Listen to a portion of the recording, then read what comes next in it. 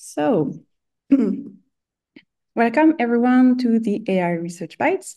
This series of short and informative talks showcase cutting-edge research work from ServiceNow's AI re research team. The AI Research Bites are open to all, especially those interested in keeping up with the fast-paced AI research community. Today's session features a 15-minute talk from Issam Laradji on his work on bringing to life uh, conversational business analytics with Agent Poirot and Insight Bench. It will be followed by a 10-minute Q&A, and as usual, please use uh, the Zoom Q&A button at the bottom of your screen. Issam is a research scientist at ServiceNow Research and an adjunct professor at University of British Columbia. He's specializing in building AI solutions that require minimal human effort and his research interests include natural language processing, computer vision, optimization, and pretty much everything AI. So the floor is yours, Issam. Thanks, thanks, Fanny. Thank you very much. Um, before I start, I'm just going to show the slide, which highlights that all the information I'm presenting here is to the best of our knowledge uh, today. And I will be talking about Insight Bench, a benchmark we've been working um, uh, with uh, over the last uh, at least six months, and it's for evaluating end-to-end data analytics. And the first thing we will cover is how we're going to talk about how to perform end-to-end data analytics with LLM agents and how to effectively evaluate such agents. So let's look at the whole data analytics process.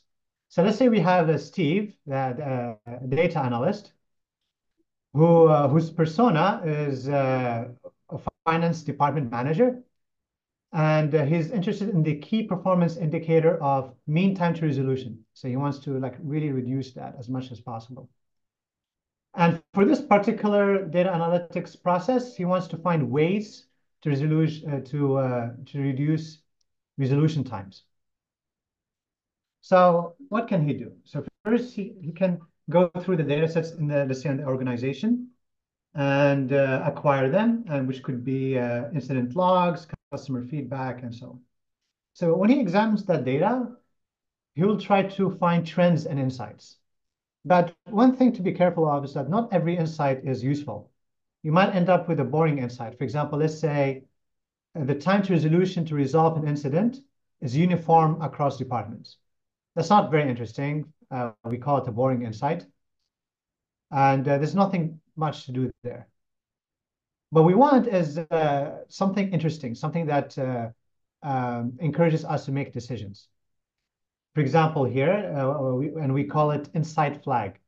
So here, uh, what we see here, let's say we have this a very high time to resolution for the finance department on June compared to all other departments.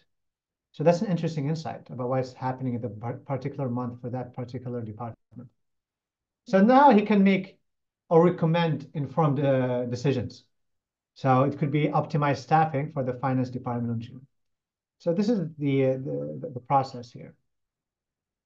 But in order to find that insight flag, uh, it requires a lot of human effort and a lot of domain expertise. You need to know a lot about incident management, a lot about data analysis, and so on. And uh, the reason why is because in order for Steve to uh, get that insight flag, he needs to, one of the ways to do analytics is to follow this uh, three-step process. First, you ask a question, a very direct question. Let's say, how does time to resolution differ across departments? And then you write code that generates a plot, and then you interpret the results. And then you do that k times or however many times until you find a very interesting insight, and then you recommend a decision. Uh, even with the current co-pilots, so the current co-pilots are very limited to single-step code completion. So even if Steve had a co-pilot, maybe he will just need to ask questions and interpret results. So the writing the code part can be done by the co-pilot. But asking questions, interpreting results is also very difficult and requires a lot of domain uh, domain expertise and human effort. So it doesn't solve, uh, doesn't address this uh, sufficiently. Not good enough. So we introduce Agent Poirot, and uh, it's, an, uh, it's, one, it's a part of our work. It's an LLM-based agent for end-to-end data analytics. End-to-end means we're going to do all the three stages. So why do we call it Poirot? Poirot is based on this fictional Belgian detective created by the British writer Agatha Christie. So while Poirot actually solves murders, uh, we see an analogy here. So for Poirot to solve murders, he needs to ask questions, answers them, and follows up until he finds who the murderer is. In our case, we need to find the insight flag. So Agent Poirot will uh, take as input a set of tables, uh, like incident logs and customer feedback, and then you can give it metadata, which is optional, like the persona, the KPI, and the goal. But the more you, the more precise you are in your metadata, the better the agent will perform, or or data analyst, which makes sense because you want to get very relevant insights. And then Agent Poirot can uh, do the, th the three-step uh, data analytics process. You can repeat them k times or until there are no more interesting questions to ask. So what we have is that we uh, we have follow-up questions and we score them. And if the questions are not interesting enough, we can just stop, you know? And then uh, all these uh, interpretations of the results, they're aggregated to get the insight flag and recommend a decision. So the features here is uh, that it supports multi-table. This is very useful, especially in organizations where you have many different tables scattered around. You want to be able to find trends when you collect or by analyzing multiple tables at once. Goals and KPIs can be inferred. So this is very useful because uh, there are a lot of organizations that have a lot of data that they have no idea what they are about, really. So just running Agent Poirot on them offline, for example, and see what comes up, you might find some interesting uh, insights. And it's also very good at efficiently ranking extracted insights. It gives you the best insights at the top so that you don't waste time on less interesting insights. In terms of implementation details, we use GPT-4o or different variations of GPT, but we also do open source like Llama 3. Doesn't require any training. Uh, I mean, like fine tuning. And each step that we showed of the pipeline uh, is a prompt. It's prompt based, and uh, it's grounded on the metadata. We also have uh, uh, the code online, so you can uh, try Agent Poirot by going to this Google Colab, and you can test it on any CSV file or dataset that you like. So from the looks of it, Agent Poirot is great, but how do we know that it is actually good? You know, we need a reliable benchmark. The problem is that existing benchmarks are not really suitable. Existing ones, they evaluate on single-step code completion, not the, the whole end-to-end -end data analytics. And the reason why they don't exist is because it's very challenging to make such a benchmark. Because how do you know what is a good insight? For for one person, a good uh, an insight can be good, but it could be terrible for another, and vice versa, right? So how can we make sure it's a good insight? How do we ensure that the metadata is precise? It needs to be precise enough uh, so that we can acquire the most relevant insights. How do we know that? How do we ensure that they're relevant that, that the data is relevant to real life applications? And also, when you're evaluating, the agents are predicting insights, and you have, let's say, the ground truth insights. How do you match? How do you make sure that the two match? Because the, the, the, the two are in free form text, and insights can be written in many different ways, even though they entail the same thing. So how do we match them without any human involvement? So first, to address the part about uh, um, having data from real life applications, we use the ServiceNow platform.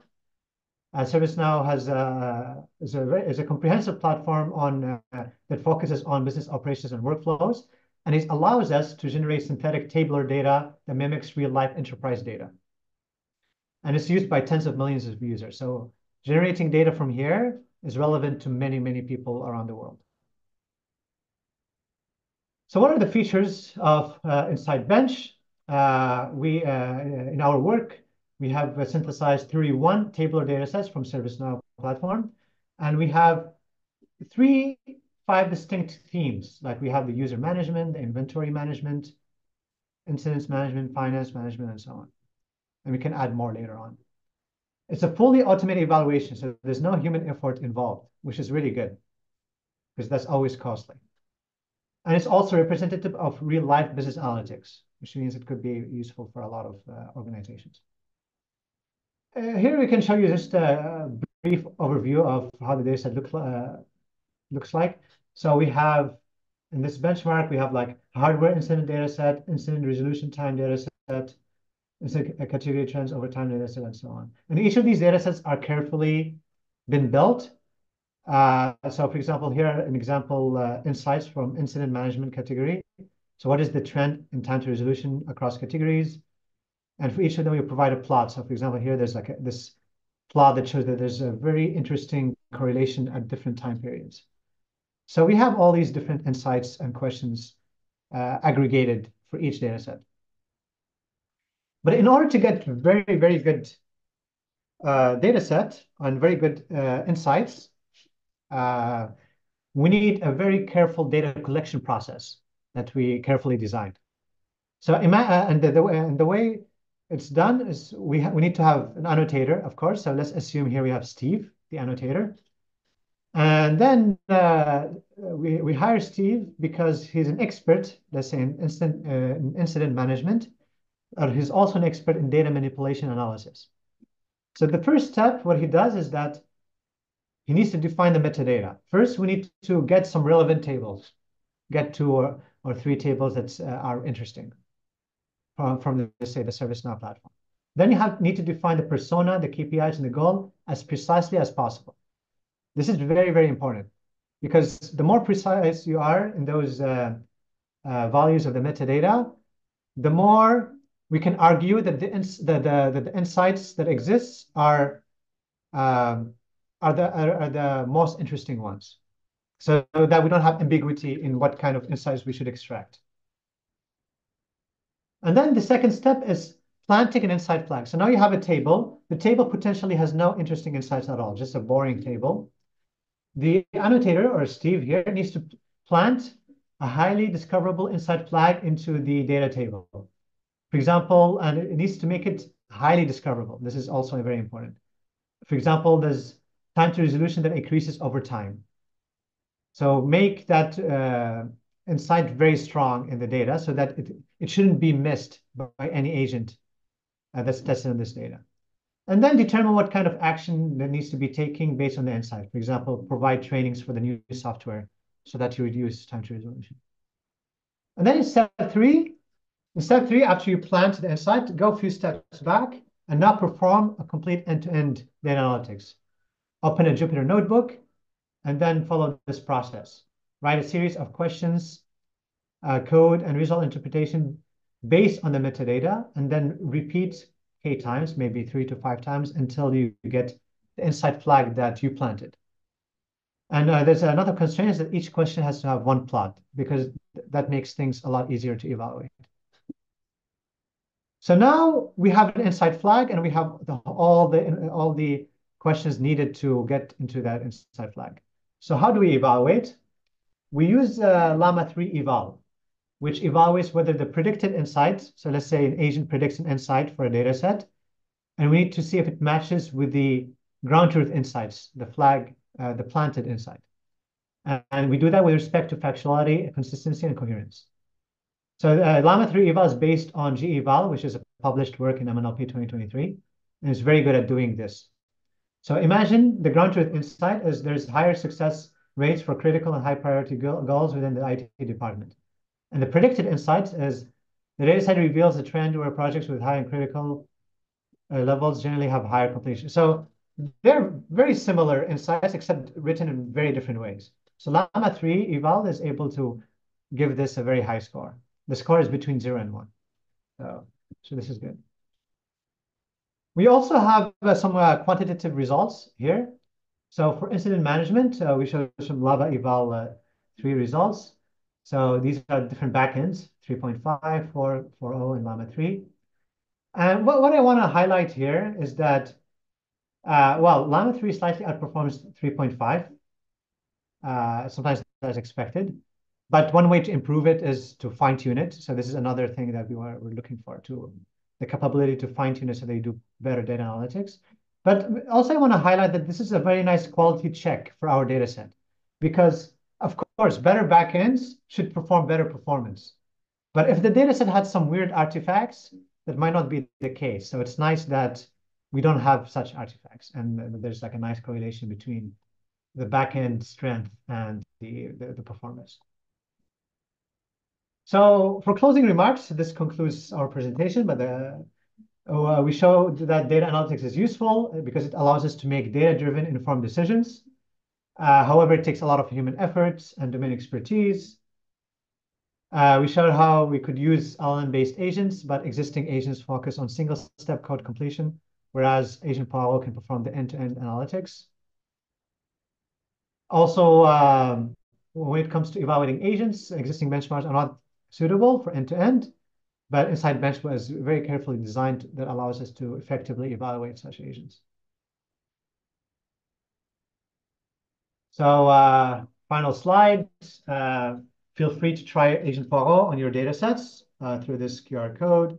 You can also uh, test a custom agent on Insight Bench. You can just go to our GitHub and then uh, create a custom agent and just run it on the benchmark. And also we have open positions, like uh, we're looking for collaborators to join our team. Uh, we have a lot of cool things uh, we could do from here now on.